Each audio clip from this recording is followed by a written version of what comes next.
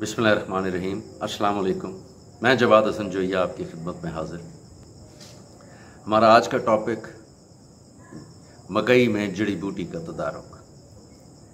यानी मकई के उगाव के बाद जो जड़ी बूटियों का उगाव होता है, उसको किस तरह मैनेज किया जाए, केमिकल जहरों की मदद से। बहुत से किसान दोस्त, डीलर्स की, कंपनी की नुमाइंदों की किसी न किसी चिकनी चुपड़ी बात में आ जाते हैं और सही तरीके से वीड मैनेजमेंट यानी जड़ी बूटी की मैनेजमेंट नहीं कर पाते। मकई की फ़सल में जड़ी बूटी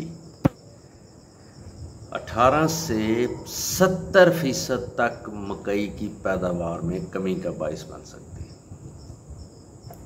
18 से 70 फ़ीसद तक मकई की पैदावार कमी का बायस बन सकती है। जड़ी बूटी बहुत बहुत ज़्यादा मकई को नुकसान देने वाली चीज़ है। मकई का एक कीड़ा जिसे फॉल आर्मी वॉम कहा जाता है, वो मकई को बहुत ज़बरदस्त नुकसान देता लेकिन जड़ी बूटी फॉल आर्मी वॉम से बड़ा ख़तरा है।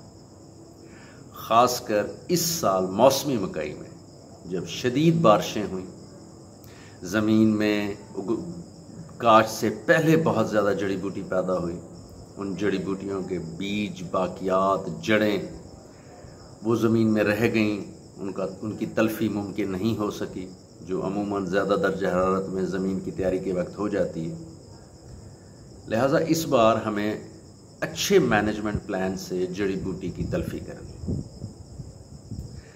पहले गुजारिश करता रहा हूँ, हमेशा, बिजाई के वक्त प्री इमरजेंस वीडिसाइड यानी कि पहली जड़ी बूटी की स्प्रे जो बिजाई से 24 घंटे के अंदर की जाती है, वो लाजमी किया करें? उससे बहुत फ़ायदा होता है। पौधा जब इमर्ज करता है, पैदा होता है, वो बड़ा मासूम सा होता है, उसकी जड़ बड़ी कमज़ोर होती है। अगर आप 24 घंटे वाला स्प्रे नहीं करेंगे जड़ी बूटी के लिए तो पौधे से पहले जड़, जड़ी बूटी उगाव कर लेगी और पौधे के जड़ के फैलाव तक उस सारी ज़मीन में जड़ी बूटी की जड़ फैल जाएगी। यानी मकई के पौधे को अपने जड़ के फैलाव के लिए ज़मीन में जगह ही नहीं मिलेगी। चलें, ये वक्त गुजर चुका। अब आते हैं कि मकई का उगाव हो चुका। जड़ी बूटियों का उगाव हो रहा है। कहीं हो चुका, कहीं हो रहा है। तो इसकी मैनेजमेंट कैसे की जाए? सबसे पहले एक चीज़ का ख्याल रखें। किसी भी जड़ी बूटी के लिए कोई भी जहर है, वो फ़सल को ज़रूर स्ट्रेस देता है, दबाव देता है, नुकसान देता है। ऐसी कोई जहर अभी तक नहीं बनी जो फ़सल के ऊपर कर दी जाए और फ़सल को परवाह ना ये मुमकिन नहीं। कुछ ज़्यादा और कुछ कम फ़सल को स्ट्रेस या दबाव ज़रूर देती। हमें अमूमन ये कहा जाता है कि जी, फ़लाँ जहर स्प्रे कर दें फ़सल मकई के फ़सल के ऊपर कर दें जी, मकई को बिल्कुल स्ट्रेस नहीं आएगा और जड़ी बूटी ख़त्म हो जाएगी। ये झूठ है। ये बिल्कुल झूठ है। थोड़ा या ज़्यादा स्ट्रेस ज़रूर आता है। अमूमन दोस्त जब जड़ी बूटी की स्प्रे करते हैं, वो देखते हैं कि मकई के पत्ते सफ़ेद होना शुरू हो जाते हैं। ये स्ट्रेस है। मकई की बढ़ोतरी कमज़ोर हो जाती है। ये स्ट्रेस है।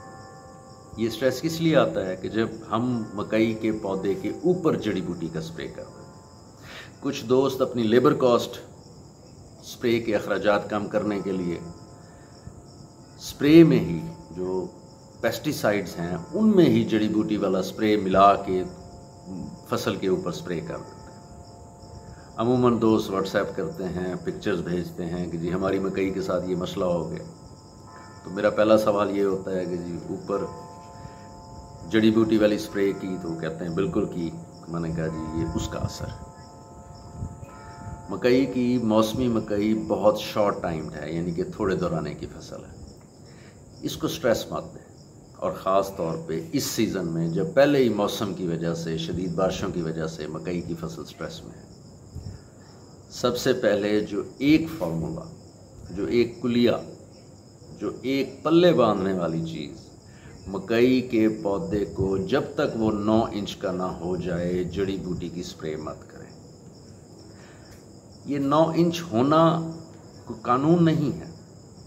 ये मेरे 12 से 15 साल का तजर्बा है। नौ इंच का पौधा होगा तो उसकी कोम्पल स्प्रे से महफूज रहेगी, यानी कि हम मकई की कोम्पल के नीचे स्प्रे जड़ी बूटी का कर सकेंगे।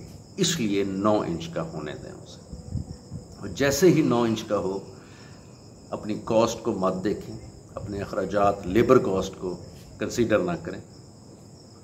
वाटर चैनल और बेड दोनों पर कोशिश करें अलग अलग स्प्रे हो। यानी कि जो लेबर आपकी, जो बंदा स्प्रे टैंक्स टैंकी से स्प्रे कर रहा है, उसे कहें कि पौधे की कोम्पल को बचाए और खेलियों में पहले स्प्रे करें, अपना फवारा नीचे करके और फिर बेड पे स्प्रे करें। इससे थोड़ी सी मकदार ज़्यादा इस्तेमाल होगी जहरों की। लेकिन हमारा पौधा महफूज हो जाएगा और जड़ी बूटी का सौ फ़ीसद नहीं तो पचानवे फ़ीसद कंट्रोल मिल जाएगा।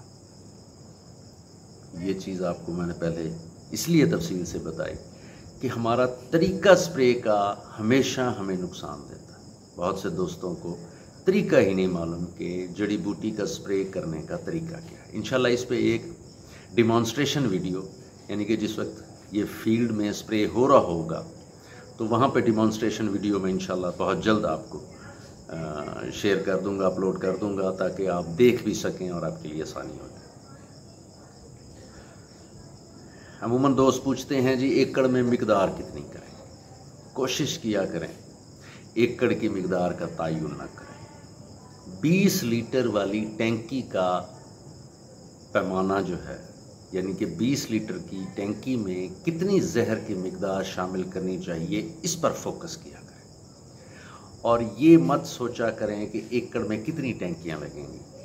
ये देखें कि कितनी टैंकियों में आपका एकड़ जिस तरह मैंने पहले तरीका बताया कि खेलियों में अलग और बेड पर अलग अलग स्प्रे करना है, नीचे करके फवारा तो जितनी लग जाए, हमें जड़ी बूटी से कंट्रोल चाहिए। थोड़ी सी कॉस्ट ज़्यादा हो जाएगी इससे कोई फ़र्क नहीं पड़ेगा। अपनी कॉस्ट पर इतना फोकस ना करें कि वो नुकसान का बायस बन जाए। अब आते हैं कि कौन कौन से जहर हैं जो मकई में मौजूद जड़ी बूटियों को तल्फ करते हैं। सबसे पहले जो मकई के लिए बेहतरीन जहर मुतारफ़ हुआ वो एट्राजीन है।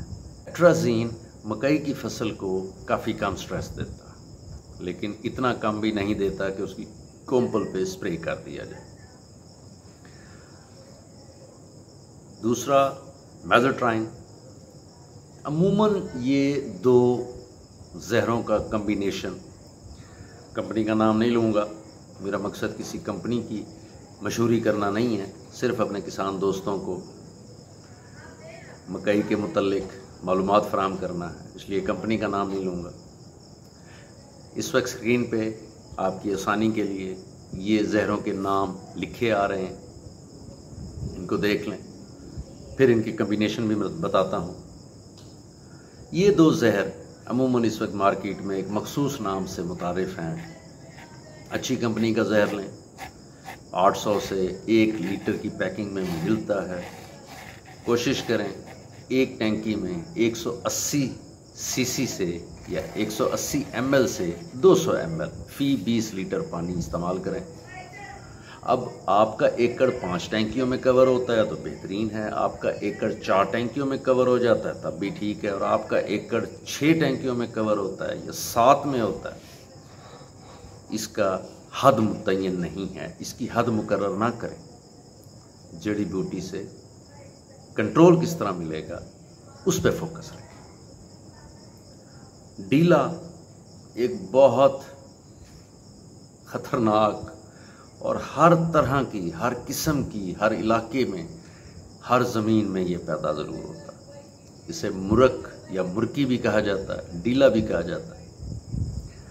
ये बहुत ज़्यादा हमारे यहाँ अमूमन मकई की फ़सल में होता है। डीले को वैसे जो पहले एट्राजीन और मेजोट्राइन कम्बिनेशन आपको बताया, ये अच्छा कंट्रोल देता है। अगर आपको लगता है कि आपकी ज़मीन में बहुत ज़्यादा डीला होता है तो इसके लिए एक और जहर है जिसका नाम हेलो सल्फरान है। हेलो सल्फरान डीले पे इन दो जहरों के कम्बिनेशन से ज़्यादा बेहतर कंट्रोल देता है। लेकिन हेलो सल्फरान सिर्फ़ डीले पे कंट्रोल देता है, जबकि पहले दो एट्राजीन और मेजोट्राइन जो हैं, ये चौड़े पत्ते पर भी कंट्रोल देते हैं और बहुत अच्छा कंट्रोल देते हैं। अच्छे तरीके से स्प्रे की जाए, नौ इंच के बाद स्प्रे की जाए तो कभी उम्मीद है कि वो एक ही जड़ी बूटी की स्प्रे आपकी जड़ी बूटी को तल्फ कर देगी क्योंकि फिर बड़ी तेज़ी से मकई ग्रो करती है, बढ़ोतरी करती है। वो सूरज और धूप और रोशनी की एक्सेस ज़मीन तक, यानी कि जब वो मकई का पौधा तेज़ी से बड़ा होता है तो वो यूँ मिल जाता है।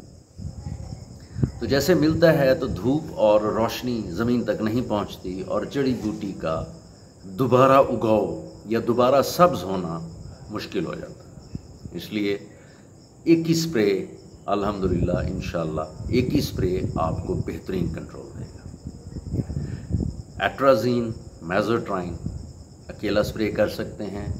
अगर आपका आ, मसला डीला बहुत ज़्यादा नहीं है अगर आपको डीले का मसला है तो एट्राजीन मेजोट्राइन और हेलो सल्फरान इनके कम्बिनेशन भी मार्केट में शायद मौजूद हैं, या ये पहले दो के कम्बिनेशन और हेलो सल्फरान अलग से आप शामिल कर सकते हैं। इसका स्प्रे करें, बेहतरीन रिज़ल्ट मिलेगा। मकई में एक ऐसी जड़ी बूटी होती है, जिसका कंट्रोल बहुत मुश्किल इसे हम सादा ज़बान या आम ज़ुबान में तल्ला कहते हैं। इंग्लिश में उसे लॉन ग्रास कहते हैं। हमारे घर के लॉन में मुन होता है, तल्ला होता है। हम माजरत मुख्तलिफ़ ज़बानों में इसके मुख्तलिफ़ नाम हैं, उनसे वाकिफ़ नहीं हूँ। ये बड़ा ख़तरनाक, समझ लें, जड़ी बूटी है। इसकी तलफी बहुत मुश्किल है। अभी तक आपको जो मैंने कम्बिनेशन बताया या जहरों के नाम बताए ये सबसे कम स्ट्रेस देने वाले जहर हैं। ये दुनिया में मकई के लिए ही मुतारफ़ हुए थे। यानी कि ये एक्सक्लूसिव वीडिसाइड्स हैं जो सिर्फ़ मकई में जड़ी बूटी की तलफी के लिए। इसलिए इनके स्ट्रेस भी काफ़ी कम है। आप इनका इस्तेमाल करें तल्ले के लिए, जो एक मेरा ज़ाती मुशाह और तजर्बा है। अगर स्प्रे होने के बाद छः दिन तक धूप और रोशनी उस तले तक पहुँच रही है तो फिर ये एट्राजीन और मेजोट्राइन की कम्बिनेशन के स्प्रे से एक बार सूख जाएगा। ज़्यादा बड़ी मकई होगी स्प्रे किया जाएगा। स्प्रे के बाद धूप और रोशनी कम पहुंचेगी तो तला कंट्रोल में नहीं आएगा। ये तल्ला अमूमन पूरी फ़ील्ड में नहीं होता। जिसे हम वट्टें या खाला बनना कहते हैं, वहाँ पे अमूमन तल्ला ज़्यादा होता है। एक स्प्रे करें और इसके बाद अगर आप ज़रूरत महसूस करें डीला या दूसरी जड़ी बूटियों के लिए आपको दोबारा स्प्रे करने की ज़रूरत नहीं होगी। खाल, वट्टों और बनों के साथ दोबारा स्प्रे भी कर सकते हैं, यही कम्बिनेशन कर सकते हैं। इससे कम अज़ कम इतना हो जाएगा कि मकई तवाना हो जाएगी, बड़ी हो जाएगी, चार से पाँच फीट तक पहुँच जाएगी। उसके बाद हुई घास ना हम कंट्रोल कर सकते हैं।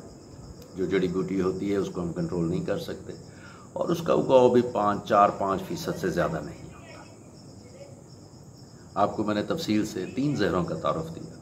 ये तीन आम जहरें हैं, आसानी से मार्केट से मिल जाती हैं, सस्ती भी हैं और मौसर भी हैं। अपनी मकई को जड़ी बूटियों से बचाएँ। ताकि आप एक बेहतरीन पैदावार ले सकें। इस चैनल को सब्सक्राइब करें ताकि जब भी नई वीडियो अपलोड हो, आपकी स्क्रीन पर नमोदार हो जाए। दुआ में याद रखें। अस्सलाम वालेकुम